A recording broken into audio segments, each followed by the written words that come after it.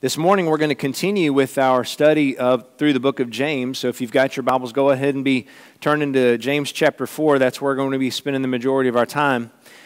This morning James talks an awful lot in his book about loving your neighbor. And as I got to thinking about my neighbor, and who is my neighbor? Who are my neighbors? Who have my neighbors been? Well, that's an awful lot of people. And if I look back to my childhood, this is a satellite image of my neck of the woods, if you will. Okay? Circle right there, that's the street that I grew up on. And that arrow right there is pointing to my house as a kid. I lived there till I was a sophomore in high school. And the kids on my street, my brother's best friend Michael lived right next door to us. Uh, Greg lived down the street from us a girlfriend that I had was named Paige, lived right there. We had a, um, um, a family, name, they were uh, Pakistani, lived in that house. Suleiman was, his, was the son. He and I were really good friends. And then Philip lived right there. We played a lot of basketball, jumped on the trampoline together, built forts together. And that was, that was my street. But if we zoom out just a little bit more, Scott lived in this house right here. He was a really, really good friend of mine. John lived in that house. Way over there, kind of in the middle, was Lee. And he was another good friend of mine. But my best friend in all the world, JT, lived right there. We were thick as thieves. If we were doing something, we were together, either all of us or a portion of us, we were all together. There was a little convenience store right up there we used to frequent, uh, buy our snacks and, and junk food at. Wade Walker Park, that's where our public pool was in the summer. You could always find a bunch of us kids there. And way over there to the left, that was my elementary school. Rockbridge Elementary School. That's where we lived. And if you were in this area, me and my bicycle, you were free game. That's where, that was my world. And so I look at this and I think, you know, that's a lot of different places. Uh, I've lived in roughly in 10 different places since I was, since I was born. Whether it be in a, growing up in Atlanta or whether I was in college or whether here in Paducah. 10 different places. That's a lot of neighbors. And as we study through the book of James here in chapter 4, James is kind of bringing his letter to a close and he's challenging God's people to focus on how they treat one another and the theme of his book thus far has been loving your neighbor. James sets forth three different ways we are to love our neighbor. First and foremost, we are to love our neighbors through our speech. I love my neighbor through my speech. He starts out and he says, Brothers and sisters, do not slander one another. What is it to slander? Slander is saying something false or damaging about someone. Now, whether you make something up, whether you misrepresent someone, or whether you only focus on the negatives, that's still slander. When I go to someone who uh, I'm meeting for the first time, oh, hey, Jason, I've heard a lot about you. Well, don't only, only, uh, only consider the good parts. I know that doesn't leave much, you know, because that's just in, in today's day and age. Oftentimes we like to say, oh, I know him. Yeah, he's a good guy, but man, can you believe he does this? Man, he's done this. He, they, they do this over here. You know, only focusing on the negative parts, making up stuff, misrepresenting someone, those are all ways that we slander one another. Where does slander come from? Slander basically comes from a jealousy that we may have, malice, doing things from malicious intent. And I think about the word malice, uh, I think about uh, one of my favorite movies, Remember the Titans.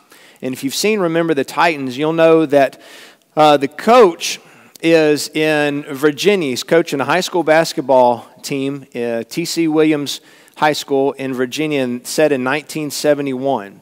And Coach, coach Herman Boone is the, is the coach.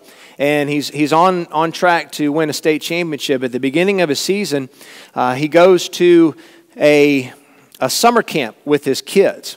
And back and then in Virginia, there were a lot of race, race, race issues that were going on, and the football team was no different. It was, a, it was an integrated school. And so one morning, he gets them up at 3 o'clock in the morning, and he goes for a, an early morning run. And they, they're, you know, they're in their boxer shorts, their t shirts, and they literally are, are running over the river and through the woods to get to their destination. So they're running, they're running, they're running, and just about the time the sun is starting to, to bring light into where they are, they pause at a cemetery. And the cemetery is covered with fog. You can barely make out the headstones. And he looks at his team and he says, Anybody know what this place is?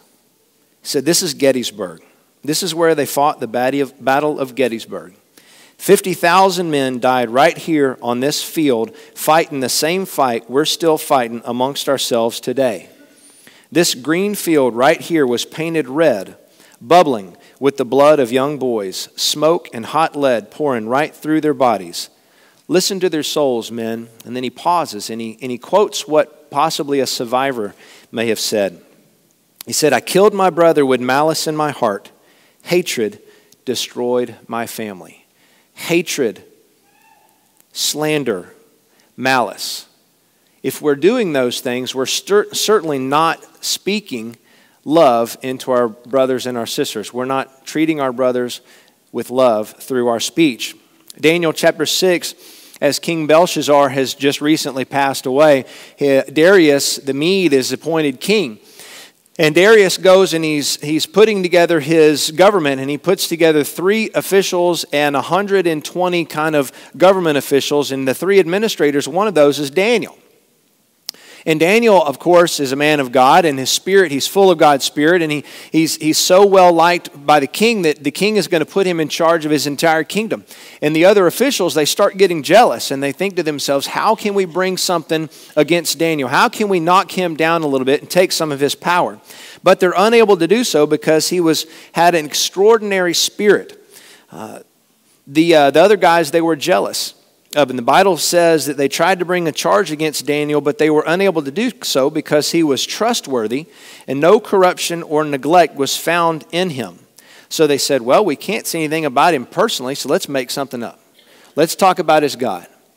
And they did. And of course, jealousy and malice and slander put Daniel in the den of lions because they were jealous of him. But our job is not to do that. It is to speak of good and not bad. Romans 12, 19 through 21 says, Never take your own revenge, beloved. Leave room for the wrath of God. For it is written, Vengeance is mine. I will repay, says the Lord. On the contrary, if your enemy is hungry, feed him. If he is thirsty, give him a drink. Do not be overcome with evil, but overcome evil with good. Our job is to love our neighbor through the way we speak. We are to kill them, if you will, with kindness. He continues in verse 11. He says, Anyone who speaks against his brother or judges him speaks against the law and judges the law. Well, what law is he talking about? Well, if you stay in the context of James, you'll look at James chapter 2, verse 8, and he's talking about the, the loyal law, the royal law he says, which is to love your enemy, love your neighbor as yourself. Rather than showing favoritism or jealousy, you are to love your neighbor as yourself. In four, chapter 4, he says that the members of the church there, both rich and poor, they were fighting with one another. They were all concerned about what they wanted, what they couldn't have. And Dave Ramsey refers to this as stuffitis, thinking that if I accumulate enough stuff, accumulate enough wealth, then I'll be happy and I'll be content. But he says that's just not the case. They were asking and they were fighting with the wrong motives. We need to avoid fighting and jealousy by asking God with the right motives. Matthew 6 33 says, But seek first his kingdom and his righteousness, and all these things will be added to you as well. Everything that we need will be given to us if we just ask God. Romans 8 28 says that we know in all things that God works to the good of those who love Him and who've been called according to His purpose. Now, I can pray for a Lamborghini all day long, but I'm not going to get it. But if I pray that God opens a door of opportunity for me to talk to a friend about Him or the, the salvation that I have through His Son, well, sure, He's going to answer those prayers all day long. Paul writes in Philippians 4 that we need to be content regardless of our situation, regardless of our circumstances, whether rich or poor, well fed or hungry, whether free or in prison. He says, I can do all this through Christ who gives me strength. Not that I can climb Mount Everest because God gives me strength, but that I can be content. I can find joy. I can be happy regardless of my circumstance as long as I have Christ Jesus. We are to avoid our fighting with our neighbors. We are to love our neighbors through our speech. Number two, we are to love our neighbors through our actions. Through our actions. He continues in verse 11. He says, When you judge the law, you are not keeping it or being a doer of the law, but sitting in judgment on the law. You judge the law the same way you judge your neighbor by showing favoritism and discriminating against it. In order to love your neighbor, you must submit to God. 1 John 3:18 says, "Submit yourself then to God, resist the devil and he will flee from you." You cannot resist the devil if you don't draw near to God. You can't love your neighbor if you're slandering him or showing favoritism towards him. And now you might be thinking to yourself, well, who is my neighbor? Who is my neighbor? Well, I'm glad you asked because a teacher of the law, an expert in law, asked Jesus the very same thing. In Luke chapter 10, an expert of the law stood up to test him and he said, Teacher, what must I do to inherit eternal life? He wasn't looking for the type of person he needs to be, he was looking for a checklist.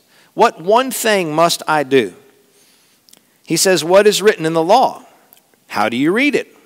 The man answered, Love the Lord your God with all your heart, soul, strength, and mind, and love your neighbor as yourself.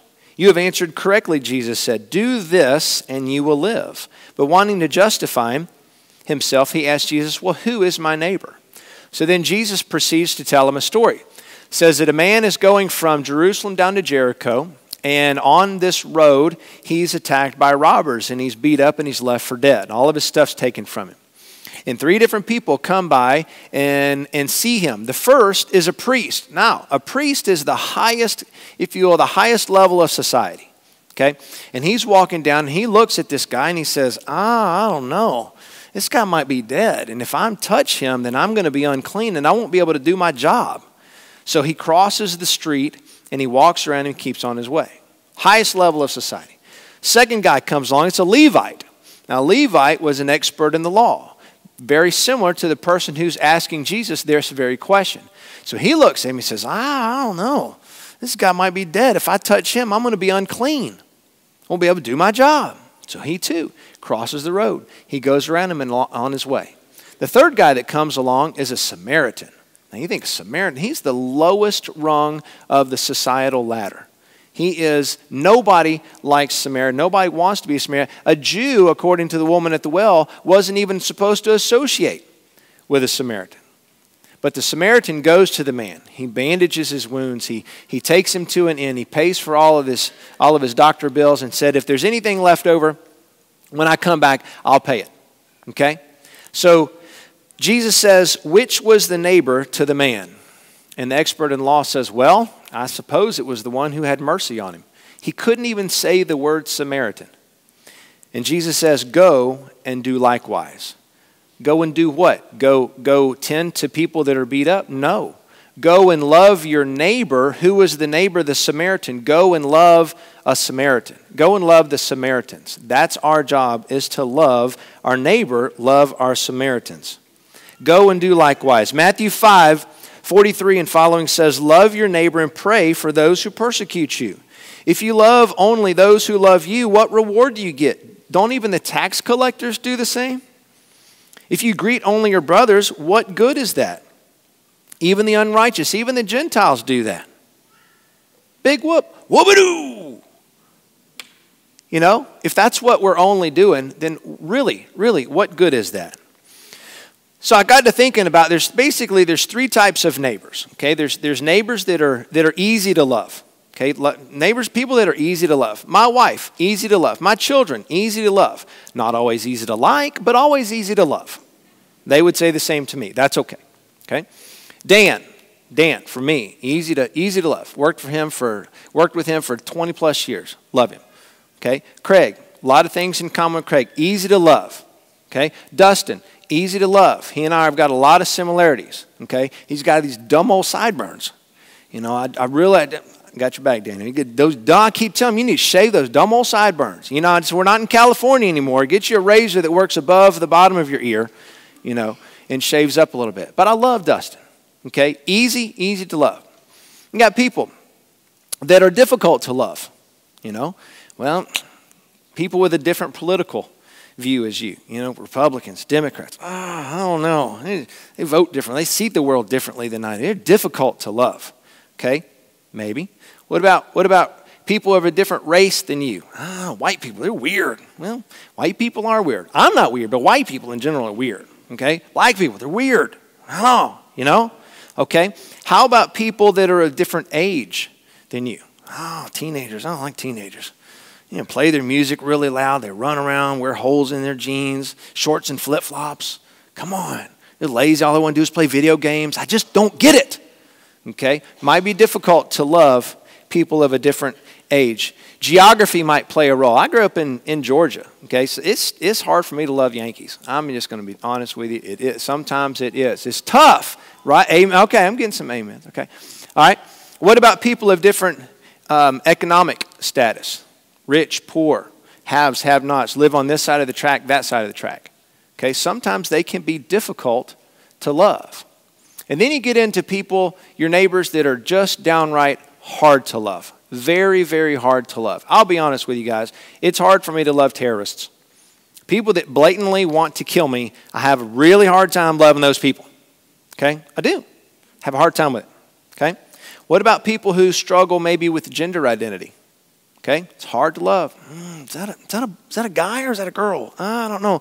I'm going to go over here so I don't have to associate with them. Okay? It'll be awkward. Okay? What about people who struggle with uh, sexual orientation? Hmm? Oh, I don't, know. I want to shake his hand. I might get something. I want to shake her hand. I might get something. Really? Really? Is that where we're at? For God so loved the entire world that he gave his son to die for the entire world. What right do I have to discriminate against someone that God himself loved, that God sacrificed his own son on a cross for. I don't have the right to do that. Even though it's difficult, sometimes it's downright hard to do, we still have an obligation to love them. Now, we don't have to condone their lifestyle, but we do have an obligation to love them. Judge the law is opposite of doing what it says. James 1 says, Do not merely listen to the word, but do what it says. By doing what it says, you will be blessed. Keeping the law is loving your neighbor. He continues in verse 12 and he says, There is only one lawgiver and judge, that's God, and one who is able to save and destroy through Jesus Christ. Therefore, there is now no condemnation for those who are in Jesus Christ. Romans 8 1 and 2. For the law of the Spirit of life in Christ Jesus has set you free from the law of sin and death. So, how do we become that? Well, Romans 6 says that we're baptized into Christ Jesus. Since we are baptized, there is no condemnation. We love our neighbors through our actions. He continues in verse 12, he says, But you, who are you to judge your neighbor? If you really keep the royal law, love your neighbor as yourself, you are doing right. Loving your neighbor is the opposite of judging your neighbor. Leviticus chapter 19, verse 18 says this Do not seek revenge or bear a grudge against anyone among your people, but love your neighbor as yourself. I am the Lord. That's where it comes from.